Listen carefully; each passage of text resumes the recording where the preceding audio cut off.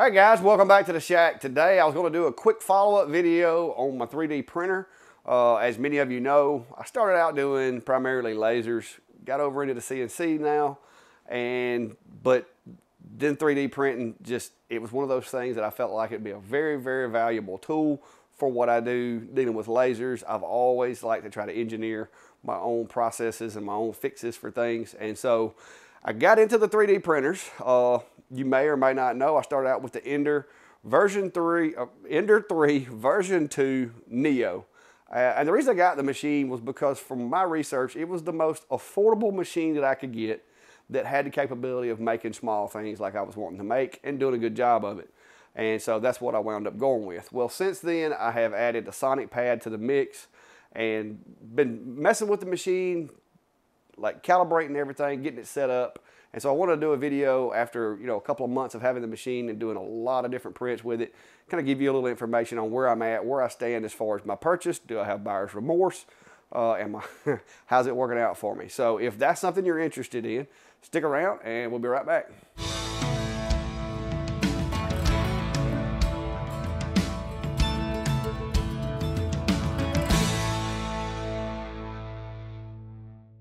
All right, guys, just to give you a look at what I'm working with. This is my little station inside. This is uh, my little desk that I use when I'm inside working on stuff. And there's the uh, 3D printer sitting next to it. Uh, the the Sonic Pad, I've got it more or less set up on the desk so that I can access it while I'm sitting there, you know, checking emails, uh, doing whatever I need to do. And then I've got the machine set up beside it. Now, I do have the enclosure. It's not really necessary. I just, you know, wanted the whole package, so I went ahead and got the enclosure.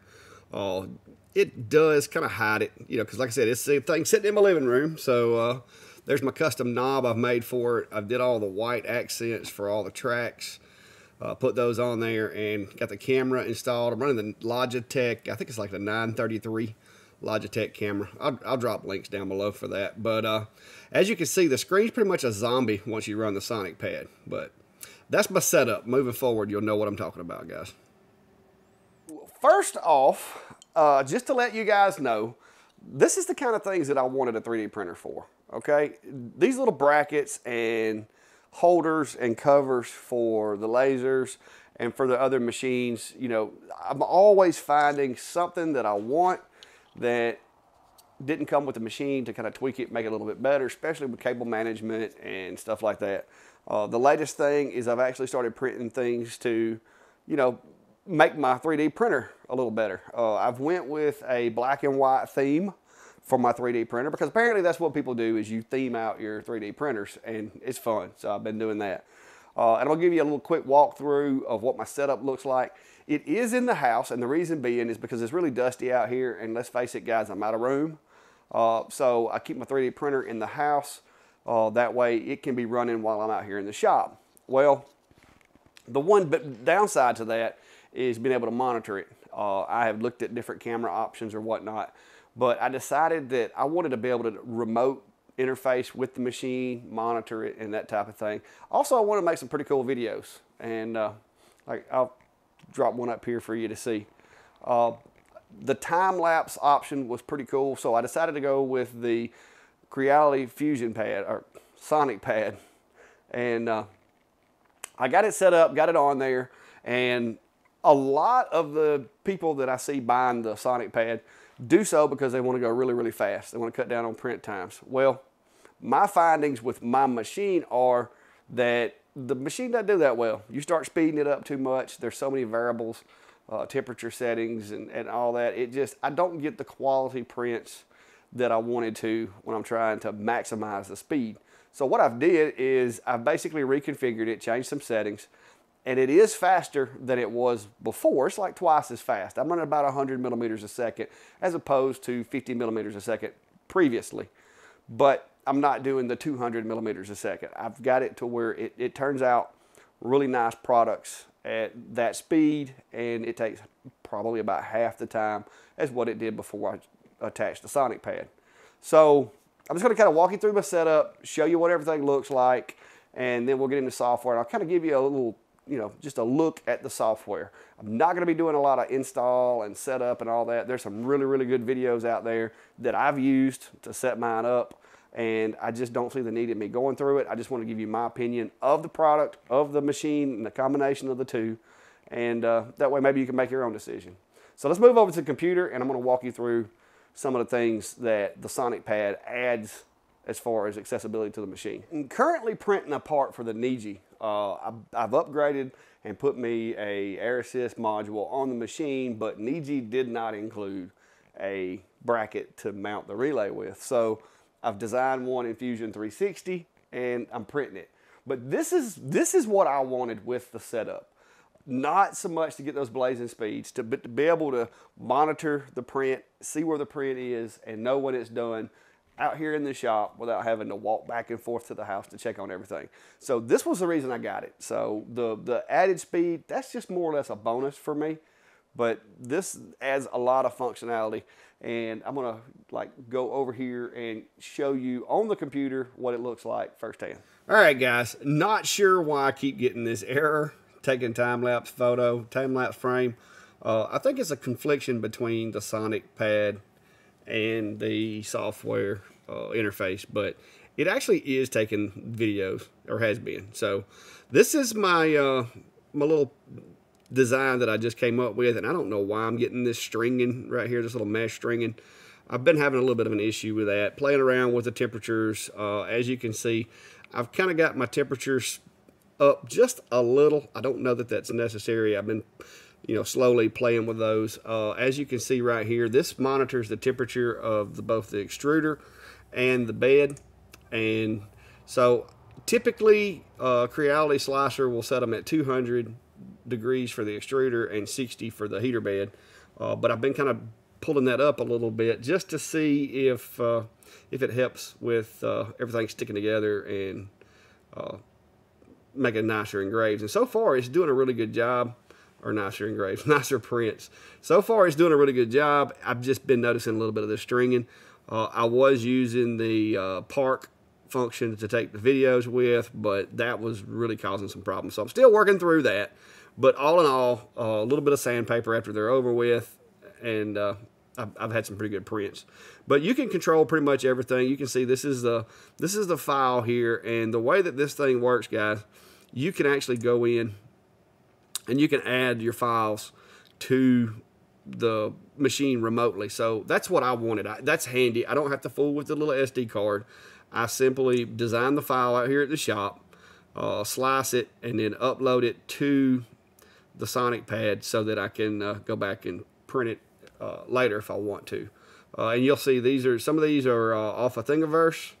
Uh, a couple of these I'm going to wind up. See, I keep getting that error. I got to figure that one out.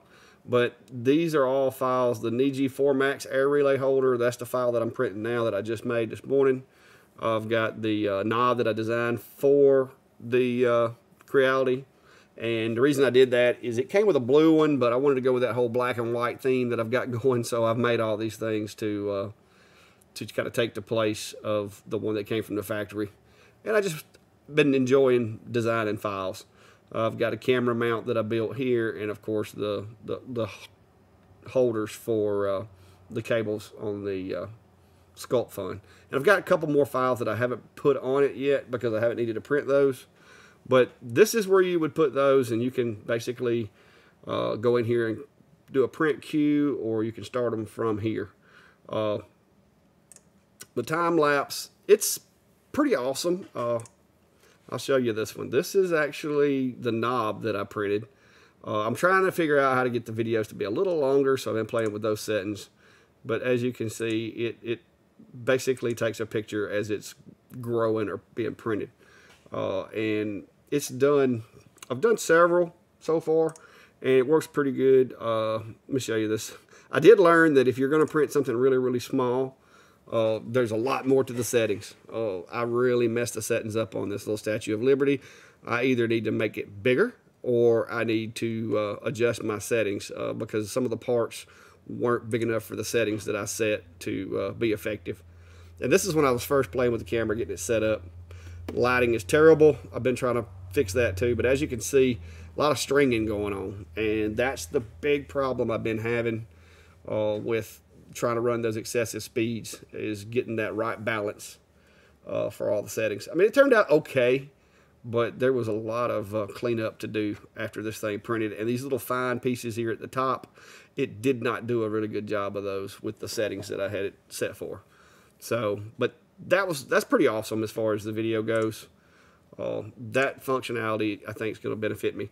But you can, like I said, you can go in here and look at pretty much anything having to do with the printer.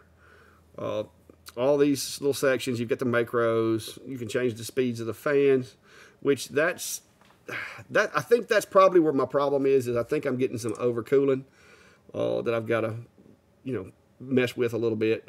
Uh, you can see here the printer limits, uh, the acceleration, the velocity, but the acceleration, I think, I, have still got a lot of playing to do with my settings. So this is not a perfect way to set your machine up, guys. This is a, this is what this thing can do, and it can make your life a little easier. Uh, it just, it's a lot better to me to use the pad than it is to, uh, and see, I keep getting those errors.